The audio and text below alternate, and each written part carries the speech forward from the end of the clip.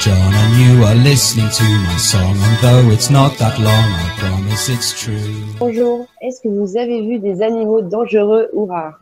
Ah bah voilà, on arrive à la question des animaux. Alors, des animaux, on commence à en voir. On a été au lac Maïka. Hier, on a vu des dauphins roses. Alors, c'était magnifique. Alors, le dauphin rose, Anne, je ne sais pas si tu, pourras leur montrer, mais la dernière fois, on en a vu euh, sur le PowerPoint. Ils ont vraiment euh, une nageoire dorsale qui est vraiment spécifique. Ils sont un petit peu biscornus. Ils ont le dos rose et le, ventre rose plutôt et le dos gris. Ouais, et une bosse sur le front.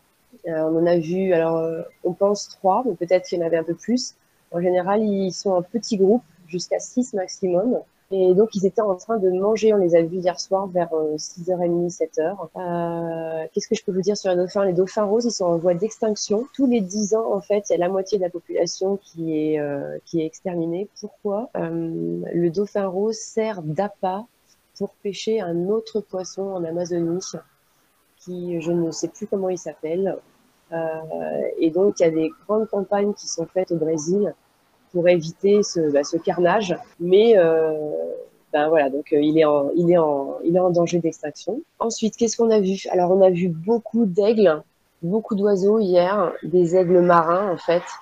De, on a vu un aigle de 3 mètres d'envergure. Il était juste magnifique, euh, avec blanc et noir. On a vu des petits aussi. Qu'est-ce qu'on a vu? On a vu des iguanes. Il y a des iguanes. Donc ça, c'est pas des animaux dangereux. On n'a pas encore été vraiment dans la jungle, jungle. Donc on n'a pas encore vu de serpents. Mais les serpents, on peut dire qu'ils sont, enfin, ils sont pas vraiment, c'est pas vraiment dangereux des serpents. Hein, ça, en général, quand ils nous voient, ils s'en vont. Et même le boa, il va pas, il va pas forcément attaquer soit il, a mangé quelque chose et il a déjà un animal dans son ventre. Alors, les dauphins sont sur le fleuve? Oui, tout à fait. Ils sont tout le long du fleuve Amazon. Tout à fait. Eau douce, tout à fait. C'est des dauphins qui se sont adaptés. Ok, moi j'ai une, une coupure de, de connexion. Euh, alors, sur les dauphins, est-ce qu'il y a d'autres questions sur les dauphins? Non. Euh, donc oui, les animaux dangereux, je vous disais, euh, donc on n'en a pas trop trop vu. Voilà, les serpents, bah c'est pas. Enfin voilà, les serpents, il y a des serpents venimeux, bien sûr, mais ils vont. Un serpent, il nous attaque si on lui marche sur la queue. Voilà. Euh, Qu'est-ce qu'on a vu aussi? On a vu beaucoup de singes, des paresseux, beaucoup de paresseux. Vous voyez ce que c'est les paresseux? Ouais. Ok. On a vu aussi des Wistiti argentés. Alors ça, c'est ouais, c'est trop mignon. C'est vraiment euh, spécifique à cette zone ici. Wistiti argenté. Euh, Qu'est-ce qu'on a vu? Alors, on n'a pas vu, mais on a entendu les singes hurleurs. Alors, les singes hurleurs, euh, ça fait un bruit énorme. Ah ouais, ils peuvent hurler pendant un quart d'heure, mais vraiment, ils hurlent, quoi. Ah oui, ils hurlent dans la jungle, on n'entend que quoi. C'est c'est assez impressionnant, ça fait, ça pourrait même faire peur. Euh, on a vu des singes écureuils. C'est pareil, c'est des petits singes qui sont tout mignons. Des singes écureuils. Ah ouais, des toucans. Des toucans. Ouais, des toucans. Ils sont magnifiques. Ils étaient... Celui qu'on a vu hier, il était vraiment euh, grand, très grand, avec un long bec. Alors il y a plusieurs euh, espèces de toucans. Hein. Il y en a des, petits. En Équateur, on a des, des toucanés, c'est tout petits toucans. Et vraiment ici, euh, c'est diversifié. Quoi. La, la, faune est vraiment euh, richissime. On a vu aussi des chauves-souris.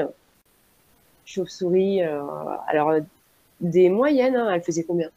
20 cm Ouais, 20 cm, 20-30 cm. Donc elles étaient assez grosses. Il y en a partout ici le soir. Euh, donc euh, ici c'est le, le bord euh, de alors Malécon, Malécon c'est Ici c'est vraiment le bord de du fleuve de Santarem. Et je sais pas si, si vous voyez. Alors par exemple là-bas vous voyez une usine. Je sais pas si vous la voyez. Bob, tu la vois l'usine?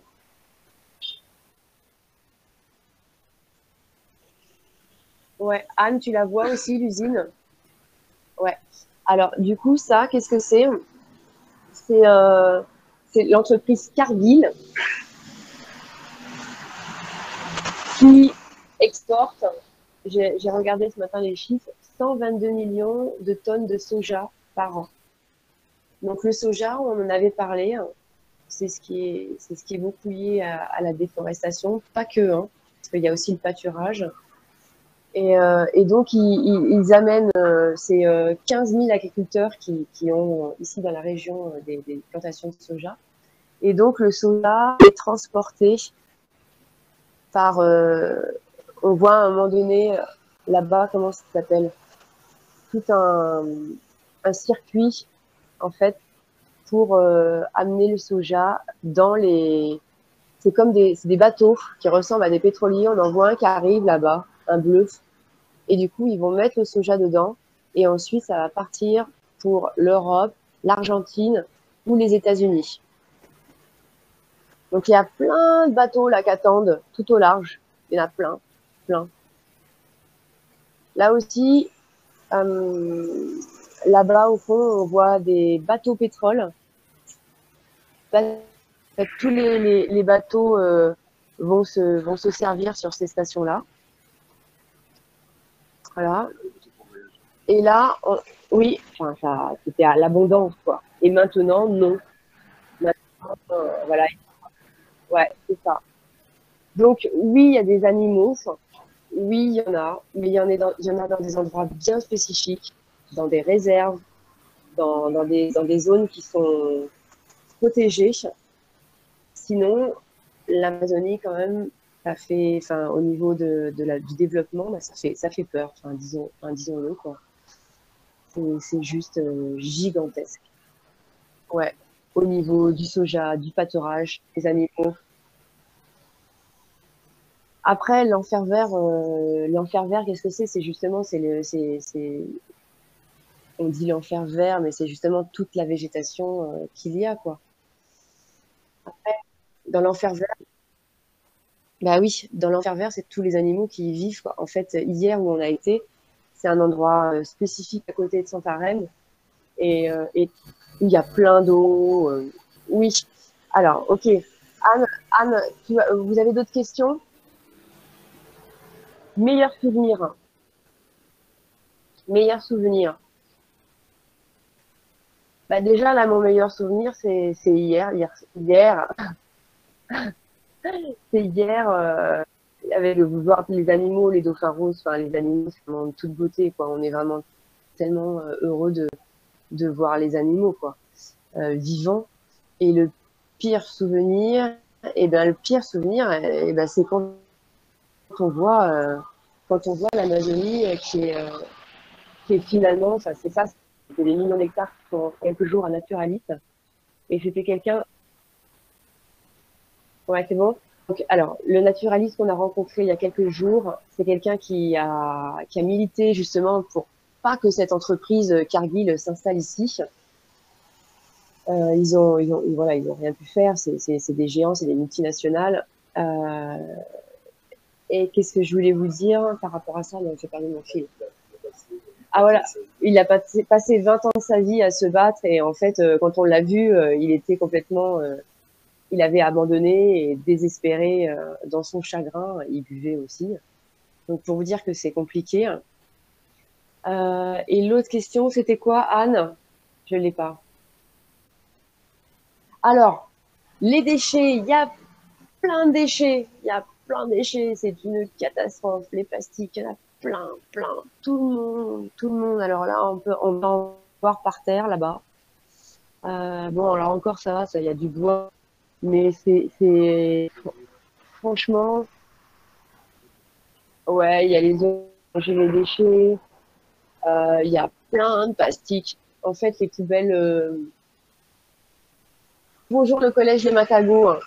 Bonjour, bonjour. Euh, il y a plein de dé... y a plein de, de plastique, ouais. ouais. Et avec le Covid, ça s'est empiré, c'est-à-dire et ben voilà, c'est des portions, tout le monde donne des, des, des trucs avec des plastiques, allez, emballage à emporter, voilà, c'est ça. Emballage à emporter. Des, des, nous, on a commencé à réduire les pailles, c'est interdit en France. Ici, il y en a plein. Hier, on a acheté une coco, ils te mettent une paille avec, voilà, donc on refuse. Comme vous avez, vous avez dit, les enfants, on refuse les sacs en plastique, on refuse les pailles en plastique.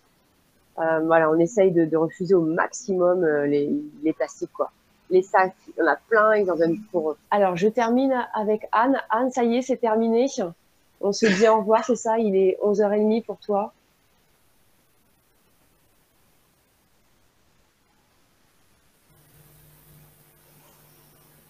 Anne, tu nous entends? Bob, est-ce que tu, euh, Robert, pardon, est-ce que tu peux couper la caméra? Comme ça, ça fait plus de, Ah, Anne, ça, ça y est, ils sont là. Voilà. Au revoir les enfants. À bientôt. On va en mettre des photos d'animaux sur le Facebook.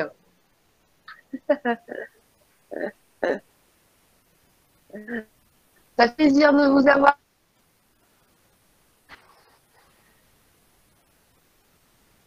Alors, ça y est, ça va. Alors, bonjour. Euh, j'ai oublié ton, prénom.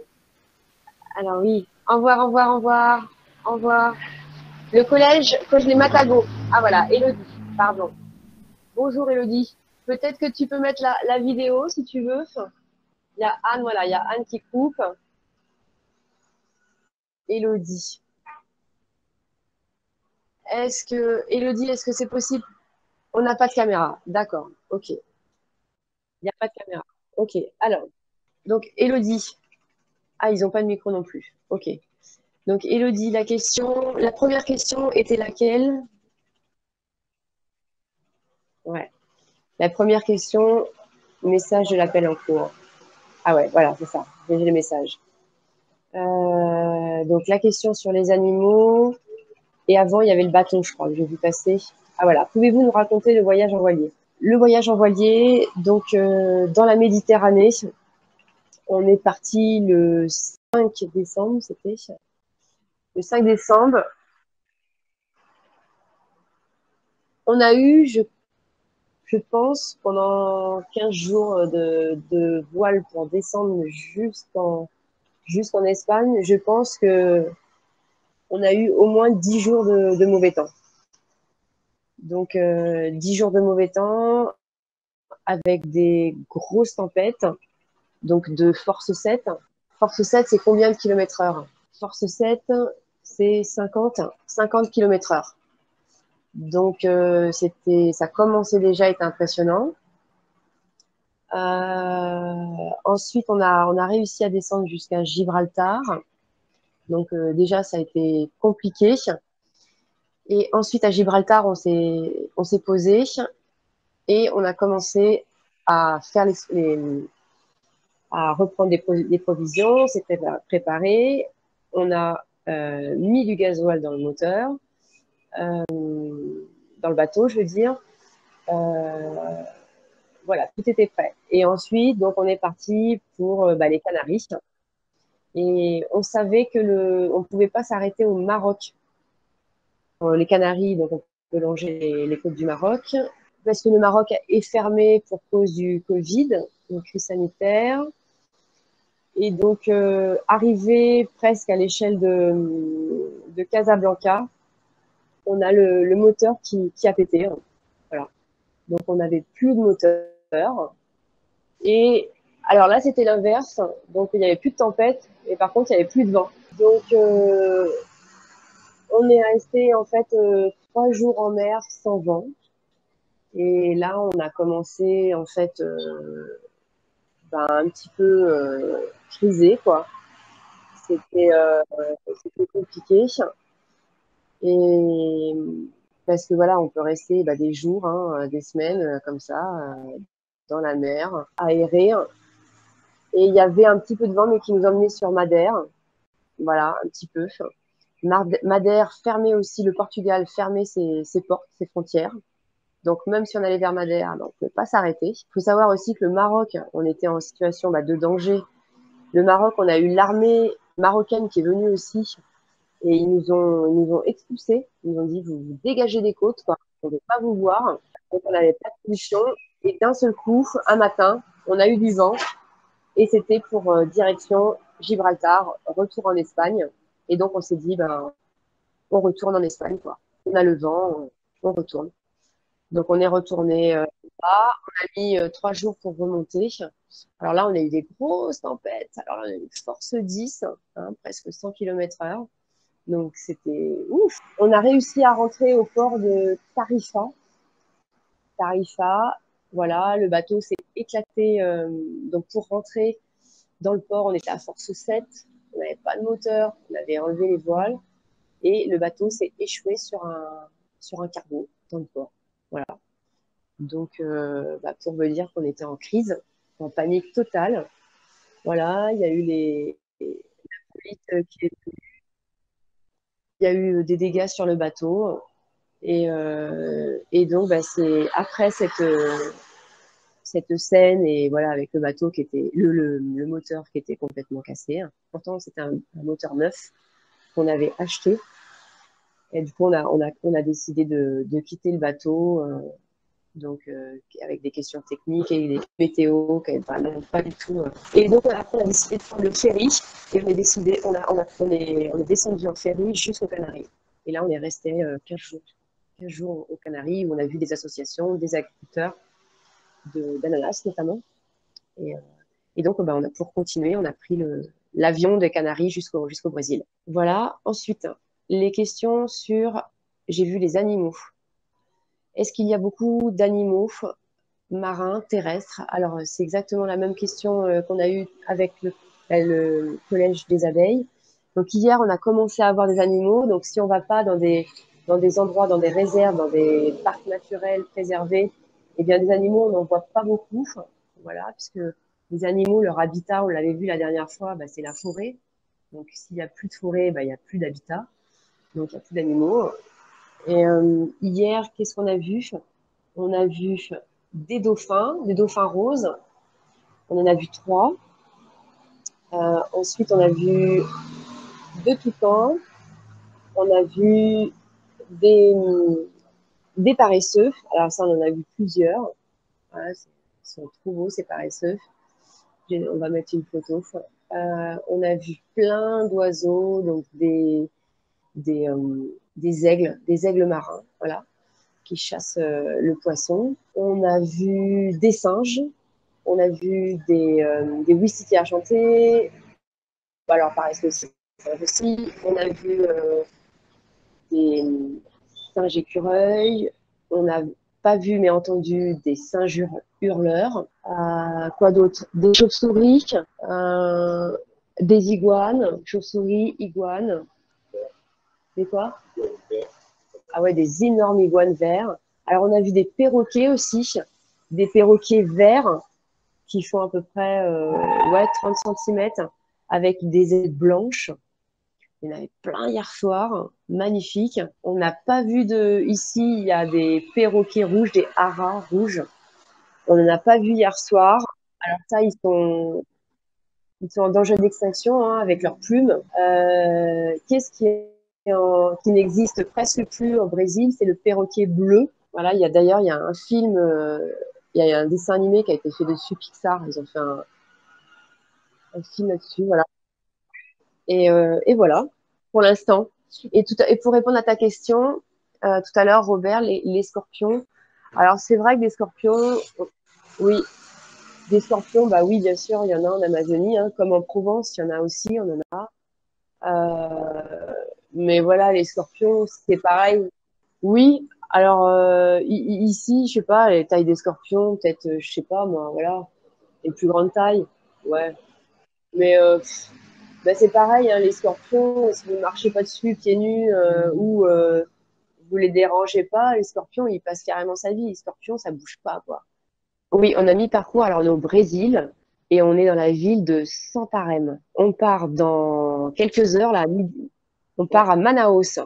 Donc Manaus, c'est la capitale de l'Amazonie, donc ça va être immense aussi. Hein. Est-ce qu'il y a d'autres questions Elodie? Oui, donc euh, je, reviens sur les, les animaux, Robert. alors, euh, donc voilà, donc pour l'instant, on n'a pas de serpent non plus. Euh, on en verra sûrement. On en verra sûrement. Alors, bah, on, va essayer. On va essayer. Donc, bon, déjà, on a des, des, des, photos d'hier. Et non, en fait, Robert, j'ai envie de te dire, les animaux dangereux, euh, il faut faire attention parce que du coup, ils, piquent et ils se, ils se, protègent parce que voilà, ils peuvent être en danger. On peut les mettre en danger, mais si on, enfin, si on fait rien, ils, nous attaquent pas les, animaux. Hein. Enfin, c'est nous qui les tuons, les animaux. Donc, qu'allez-vous faire ensuite? Donc, là, on part pour Manaus tout à l'heure. On va rester euh, quelques jours à Manaus parce qu'on a trois associations que l'on aimerait voir. Ils ne sont pas encore répondu et aller à leur rencontre. Euh, il y a une association notamment qui protège les dauphins et les lamentins aussi. Les lamentins, ils sont en danger d'extinction. Euh, pourquoi bah, ils, sont, ils sont mangés, en fait, les lamentins. Ils sont énormes et ça fait une quantité de viande. Euh, ensuite, à Manaus, on va à Tefé. Alors, à Tefé, c'est, il y a une des plus grandes réserves naturelles et de, de forêts primaires. Donc, bah, on ira faire un tour dans la forêt primaire là-bas. Euh, et ensuite, on a un point d'interrogation. On ne sait pas encore, on est en, connexion avec les, ambassades. On ne sait pas si le Pérou va ouvrir ses frontières avec le Brésil. Donc, on ne sait pas encore si on va passer par le Pérou ou si. Euh, alors, je parle des frontières terrestres, en fait. Euh, les frontières terrestres. si vous regardez sur la carte, il y a une triple frontière avec le Brésil, la Colombie et le Pérou. Nous, ce qu'on aurait aimé faire, c'est passer le Pérou, aller jusqu'à Iquitos et ensuite remonter sur le Rio Napo. Le Rio Napo qui arrive d'Équateur et qui se jette en Amazone. Donc, on aimerait faire ça dans les si jamais on ne peut pas faire ça, on a deux solutions. Soit on prend un tout petit avion et on fait la frontière voilà, on passe de l'autre côté en avion parce que les, frontières en avion sont ouvertes. Ou soit on remonte par le fleuve Putumayo, c'est la frontière colombienne Équateur. Euh, c'est un long fleuve. Euh, bon, il y a des narcotrafiquants là-bas, on sait encore. On va commencer à, se poser des questions en fait quand on, sera vraiment à la frontière avec les, les solutions qu'on peut voir. Comment on voyage maintenant? On a mis des vidéos Elodie, si tu veux regarder sur le Facebook, on a mis une vidéo avec le bateau et avec tous les hamacs qui sont à l'intérieur, avec tous les gens. D'autres questions, Elodie? Robert? C'est une bonne question, effectivement. Eh bien, oui, ça va. Ça va, on s'entend bien. Ben oui, on s'entend bien. Ouais. Hier, hier, on a bien rigolé. Euh, des fois, on a des moments de, comment dire, de découragement. Euh, parce que voilà, on parlait tout à l'heure de la déforestation, de, en fait, c'est, hyper exploité. Le fleuve Amazon, là-bas, là, il y a plein de cargos encore qui arrivent. Il y en a, y en a tout le long. C'est vraiment, en fait, c'est, c'est une, d'exploitation. Hein. Et il y a les cargos qui remontent jusqu'au Rio Napo, donc l'équateur, et qui amènent euh, bah voilà, des télés. Euh, voilà, la consommation, c'est bah, toutes les ressources qui sont dans le monde, quoi. Et, et la Terre, elle n'est pas infinie, quoi. Donc, euh, et voilà, quand on, je sais pas si nos enfants ils verront des animaux en fait. Vous, vous comment vous, vous, vous en voyez, mais ils sont en danger d'extinction, donc on en voit peu. C'est compliqué quoi. Donc euh, en fait, on, on peut dire qu'on a plus des moments de de découragement et de se dire que c'est juste énorme en fait que que le développement il est plus fort en fait que la, préservation que on, tombe quand même on, est on est quand même euh, enfin le monde est à l'envers quoi là là donc il y a l'entreprise euh, Cargill euh, c'est 122 millions de tonnes de soja par an qui partent en, Europe en Amérique aux États-Unis en Argentine pour nourrir des, bestiaux des, cochons des poules des vaches d'Europe, quoi. Le monde tourne à l'envers, quoi. Faut quand même le dire. Et tout ça pour euh, l'économie, quoi, l'économie mondiale. Bon, voilà, c'est c'est compliqué quoi. L'agriculture, c'est le, ce qui euh, favorise la déforestation. Voilà, on a, cette mission-là et de, faire le documentaire, de, rencontrer les associations. Mais c'est pareil, les associations, il n'y en a pas énormément non plus. Nous, par exemple, en Équateur, on a mis trois ans à créer une fondation. Vous imaginez. Donc, tout ce qui est société civile, c'est compliqué de, de créer, quoi. Les familles, ça nous manque. Alors, pour vous dire, en fait, donc on est une association familiale. Donc, en fait, on est en famille. Euh, le trésorier, eh bien, euh, eh bien c'est mon conjoint.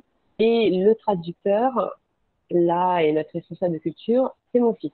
Donc, on, travaille en famille. On est content d'être ensemble, en fait. Oui, merci à vous. Nous aussi, on est content. Bah, c'est dommage de ne pas vous avoir vu. On vous dit, on vous dit à très bientôt. Regardez euh, les, les, vidéos sur Facebook et effectivement, bah, nous aussi, on vous embrasse et on vous dit à très bientôt. Au revoir Elodie, au revoir les élèves, au revoir tout le monde. Robert, tu avais d'autres questions? Tu voulais euh, qu'on fasse un petit point? Oui.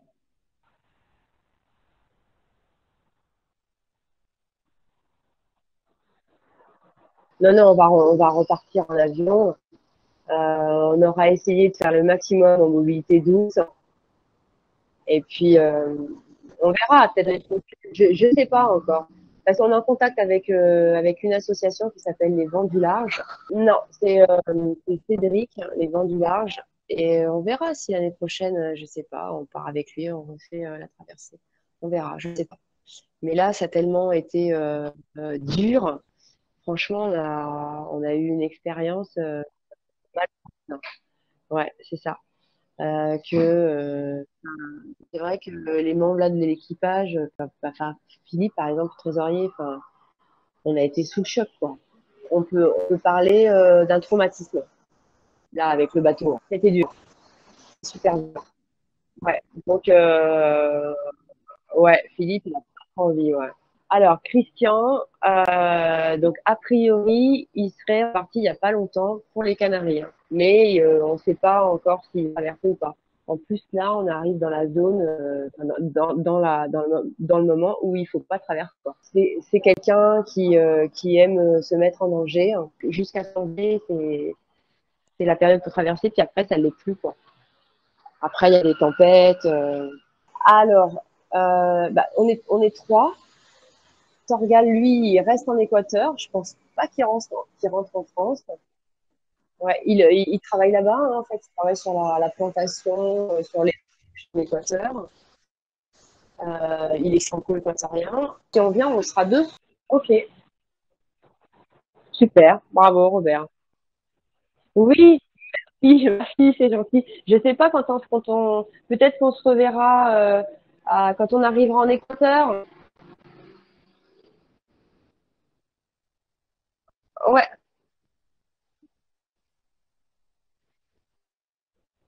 Ok, ça marche. À très bientôt. Oui, bonne journée. Merci, au revoir. My name is Little John and you are listening to my song and though it's not that long I promise it's true one day with Robin Hood, and he did say, Why do we do what we do? And I said, Robin, now you listen.